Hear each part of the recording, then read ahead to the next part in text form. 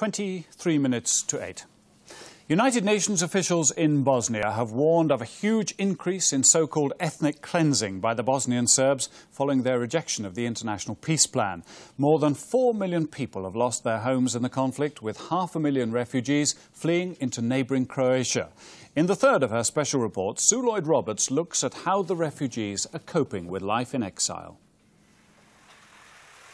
If the United Nations in the former Yugoslavia is running out of patience, then some of the refugees say they're running out of patience with the UN. Like the mothers of Vukovar, who've built a wall around its headquarters in Zagreb.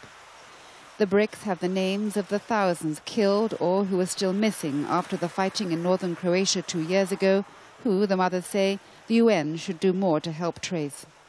It appears they can't win. With 30,000 troops here, the UN's proudest achievement is the opening of land routes into the safe areas with the expectation that refugees would start returning.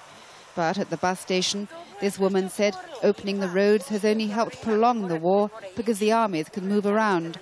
Only a few hundred have dared return home. The UN is disappointed how few refugees are prepared to return home, and the Croatians say they can hardly accommodate those who are here already, and more arrive every day. The Pejic family were forced out of their home by fighting around Sarajevo two years ago. They took a bus back to their village last week, but have returned to their refugee camp in Croatia. Many houses in our village have been destroyed.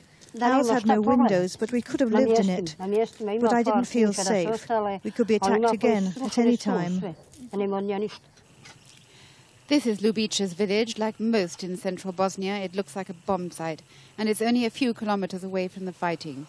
With no hope of peace, let alone a program of reconstruction in sight, it's hardly surprising that over 4 million people in the former Yugoslavia are living away from their original homes. This transit camp outside the Croatian capital Zagreb was built to house 3,000 refugees. Hundreds more, like this couple from Banja Luka, arrive every week, reporting to refugee officials that the ethnic cleansing program is still being carried out as ferociously as ever in northern Bosnia. We Muslims can't survive there. It's getting much worse. Every day the Serbs harass and abuse us and threaten to kill us until we have to leave. The long-term refugees live in a string of camps on the fringes of towns, on the margins of society and out of the public eye. For two and a half years now, some have been enduring the indignities of refugee life, communal bathrooms, dining rooms, with no end in sight. In this camp, it's quite normal for a family of six to share a room. Sometimes the tension is so awful, says this mother, I get ill, and no one knows how long it's going to go on for. Western funded charities do their best to entertain the children. Here, a cramped dancing class. Later, I ask what they all wish for most. To go home. Sue Lloyd Roberts, BBC News, Croatia. Sarajevo two years ago. They took a bus back to their village last week, but have returned to their refugee camp in Croatia. Many houses in our village have been destroyed. The house had no windows, but we could have lived in it. But I didn't feel safe. We could be attacked again at any time.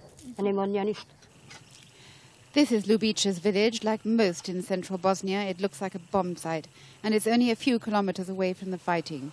With no hope of peace, let alone a program of reconstruction in sight, it's hardly surprising that over 4 million people in the former Yugoslavia are living away from their original homes.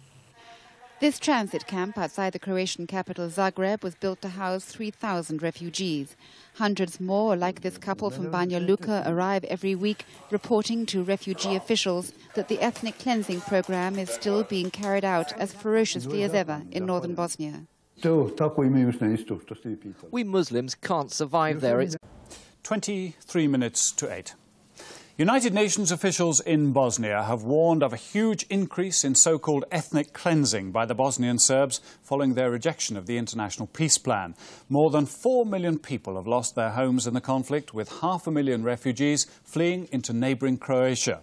In the third of her special report, Sue Lloyd Roberts looks at how the refugees are coping with life in exile.